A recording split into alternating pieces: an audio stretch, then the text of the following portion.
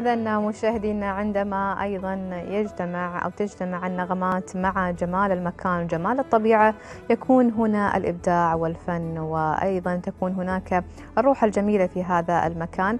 أيضا هذه من المبادرات الجميلة للمكتب الإعلامي لحكومة الشارقة. إذا مشاهدينا ننتقل معكم أيضا إلى موضوع آخر حيث غدت حياتنا اليومية مزدحمة بالكثير من الأعمال والمسؤوليات. ما يجعل البعض منا لا يستطيع أدائها بالشكل المطلوب ربما لضيق الوقت أو عدم القدرة على تحديد الأولويات أو نتيجة تأجيلها حتى تأتي الفرصة المناسبة. وهنا تأتي أهمية مهارات ترتيب الأولويات وإداراتها ورسم أهداف المستقبل وسرعة إنجاز المهام. في الوقت المحدد. وهذا سيكون موضوعنا مع ضيفتنا لينا زكي رباح مدربة حياة وتنمية بشرية. أستاذة لينا أهلا وسهلا بك. أهلا فيك. أهلا وسهلا.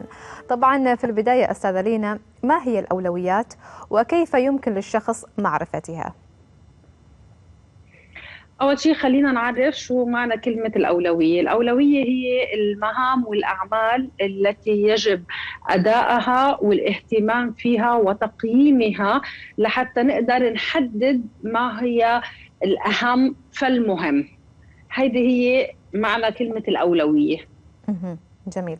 يعني هناك أولويات في حياتنا بشكل عام ولكن ما أهمية أكيد. نعم ولكن ما أهمية أستاذة لينا أن نجعل أولويات لبعض الأمور ونؤخر بعض الأمور؟ أوكي حسب آه شو الشيء المهم فالأهم بالنسبة لإلي. في معايير أساسية أنا على أساسها بحدد شو الأولويات اللي عندي. لازم أحط قائمة بالمهام والأعمال اللي أنا لازم أقوم فيها. وبعدين على أساس هيدي القائمة بحدد أولويتي حسب الإلحاح والأهمية تبعت هيدا هيدا الشيء اللي لازم أعمله. بحدد أهدافي والهدف اللي بدي أحطه لأحققه لازم يكون smart goal يعني لازم يكون specific هدف محدد, محدد. لازم يكون measurable ممكن قياسه achievable ممكن تحقيقه realistic يكون واقعي timely بده يكون في time حاطة وقت وقت محدد لتحقيق هيدا الهدف. فلما بكون أنا حاطة هيدي القائمة قدامي فوقتها بقدر إني أحدد أولوياتي وأبلش أحقق فيها هدف ورا الثاني. جميل. يعني إذا أستاذة لينا يعني آه هذه المعايير هي مهمة في ترتيب الأولويات ولكن أحيانا في بعض آه الأحيان عندما نضع هذه الأولويات نرى أن جميعها مهم. وإن تم وضع هذه المعايير نضعها بالترتيب بالتساوي بين جميع هذه المهام فتتخربط الأمور هنا. فما مدى أيضا أن نكون عقلانيين في وضع هذه النسب أو الأهمية من خلال هذه المعايير؟ أوكي. هلأ أحيانا نحن فعلا بنضيع وما بنعرف شو بدنا نعمل. عشان هيك قلت مهم جدا إنه نحن نحضر قائمة بالمهام والأعمال والأهداف اللي نحن بدنا نحققها. فبعدين بس القائمة تصير قدامنا بتطلع عليها وبطلع على شو الأهم فالمهم بالنسبة لإلي.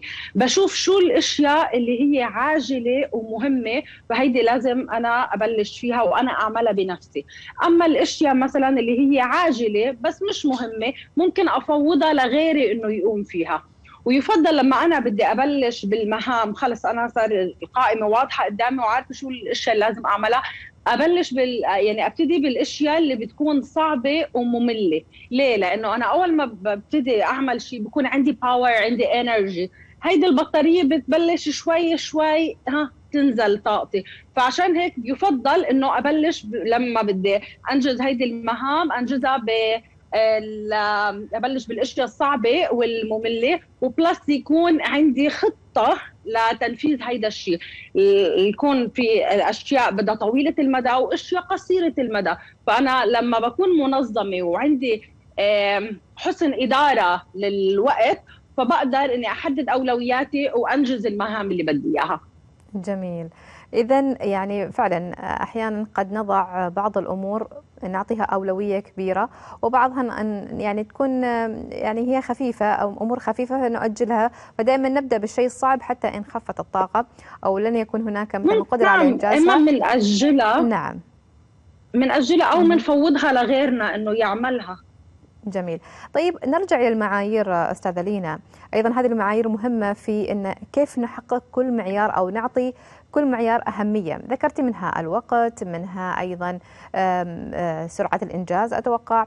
هناك معايير معينة. نبتدأها خطوة بخطوة أستاذة لينا حتى تضح نوضح هذه المعايير لكل من يتابعنا ويستطيع أيضا الوصول إلى وضع الأهداف بالطريقة المناسبة حسب الأهم فالأهم. بالضبط. هلأ في عنا نحن كبشر عنا حاجات. فنحن لما بنعرف شو حاجاتنا على أساسها بنحدد الأولوية حسب أهمية وإلحاح الشيء وقد إيه هو عاجل ومهم. يعني أول حاجة بالنسبة لي أنا هي الحاجة الفيزيولوجية اللي هي الهواء الماء الطعام المأوى. ثاني آه، حاجة هي مثلا الحاجة إلى الأمان إن أنا أحس بالأمان. ثالث آه، وحدة الانتماء الاجتماعي إنه أنا يكون آه، عندي علاقات آه، صحية مع أسرتي مع عائلتي. من الناحيه العاطفية من ناحية تكوين الصداقات لأنه أكيد أنا ما فيني أعيش لحالي. الحاجة كمان إلى تقدير الذات. تحقيق الذات وللتقدير آه، إني أنا أقدر قيمة حالي مهم ومهم إنه أنا التقدير يكون من قبل غيري كمان الناس المحيطين فيي. لما بتلاقي ولد صغير لما بيعمل شيء وأمه بتقول له ولا بيو أنا كثير فخورة فيك قد إيه بيكون مبسوط وبيعزز له هذا الشيء ثقته بحاله. فهيدا الشيء مش بس الطفل اللي بحاجة له حتى نحن الكبار بحاجة لنحس بهيدا التقدير من الناس اللي بيعنوا لنا كمان في الحاجة للواحد يهتم بصحته يلعب رياضة يأكل أكل صحي. الحاجة إلى الجمال الواحد يهتم بجماله يهتم بنفسه.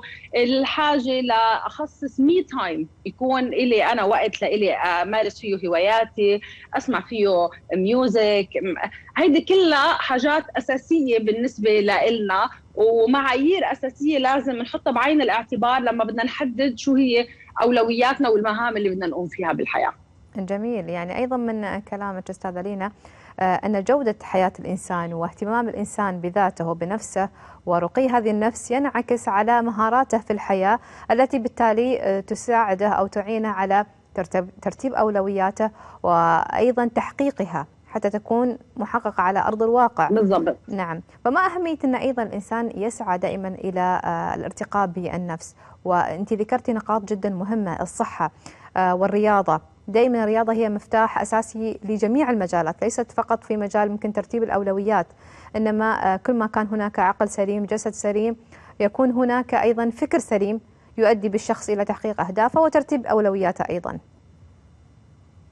مزبوط وكمان آه، هيدا آه، بيعزز من ثقة الإنسان بنفسه. لما أنا بيكون صحتي منيحة الفت الشيب تبعي شكلي حلو فأنا هيدا بيعزز لي ثقتي بحالي بحس إنه شو ما إلبس بيلبق لي. بينما لما بكون ناصح ومبهدل يعني لو لابس لبس حلو بحسه مش لابق لي مش طالع حلو علي. هيدا الشيء بيقلل لي من ثقتي بحالي.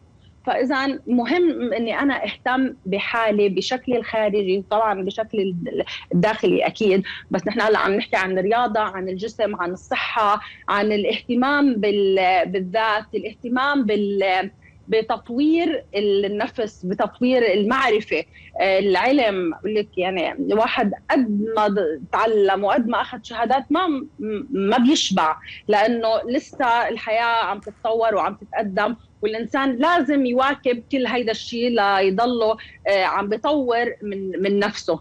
صحيح. الإنسان كل يوم يتعلم شيء جديد والعلم ليس له لا وقت ولا أيضا مدى آه، معين. طبعا يعني إلى أي مدى آه، أستاذة لينا قد تكون هناك حاجات أساسية لتحقيق التوازن في حياة الشخص أو حتى تحقيق توازن بين جميع الأولويات ما هي النتيجة التي سوف تنعكس على هذا الشخص؟ مثل ما حكيت قبل شوي حددت شو هن الحاجات اللي الإنسان بحاجة لها هي الحاجات الأساسية الهواء والماء والطعام المأوى الشعور بالأمان آه، تحقيق الذات تعزيز الثقة بالنفس. الحاجة للعلاقات السوية مع المحيط المحيطين فينا علاقاتنا مع الأصدقاء مع الأهل مع الأسرة.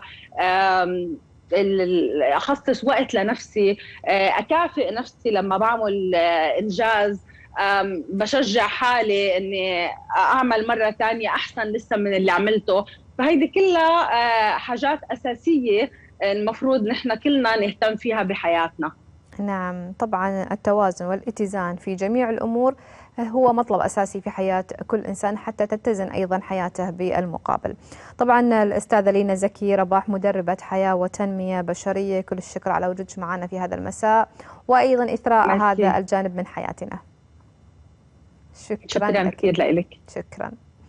اذا مشاهدينا الكرام أي مجال فني له أسس وقواعد واليوم كما عودناكم نتعرف على أسس وتاريخ المسرح في فقرتنا التالية التي يقدمها الفنان لمراتي المتميز مرعي الحليان. دعونا نتابع الفنان مرعي ولنا عودة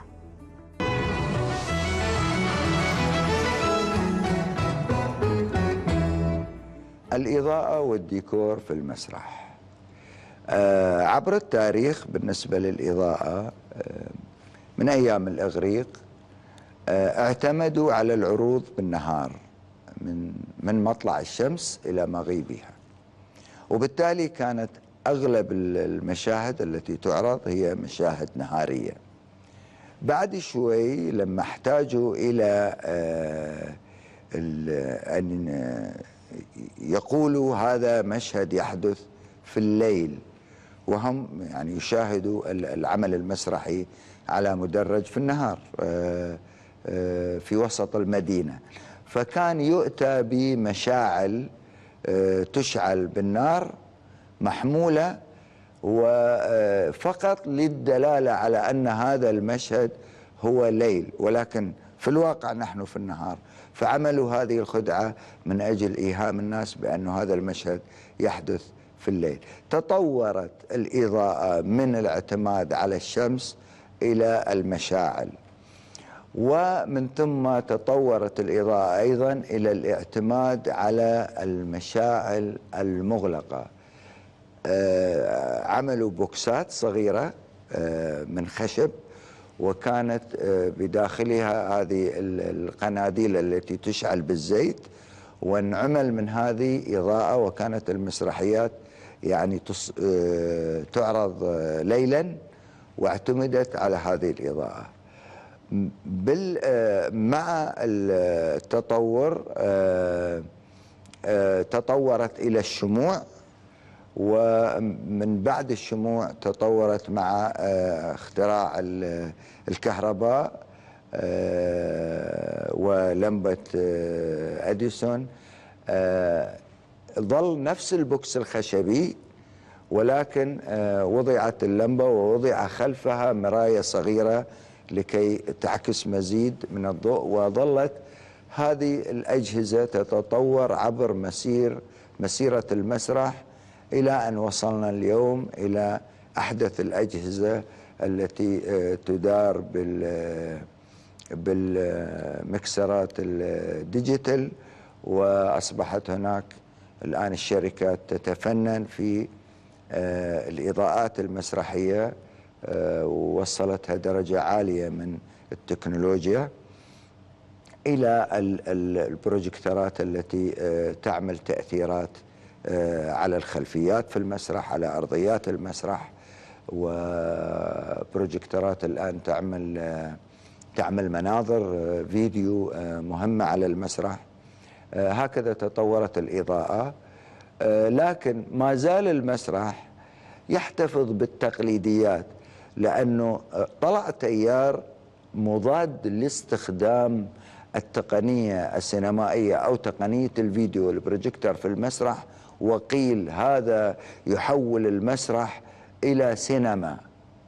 المسرح يجب أن يبقى مسرح بأدواته التي آه، ابتكر بها لكي يختلف عن السينما. عندما أعرض مادة فيلمية في مسرحية فأنا أكون كسرت الصنعة المسرحية. وتيار كبير موجود الآن حديث ضد هذا استخدام الفيديو آه، في المسرح باعتبار أن المسرح يستطيع أن يصنع مشهدياته بأدواته الخاصة.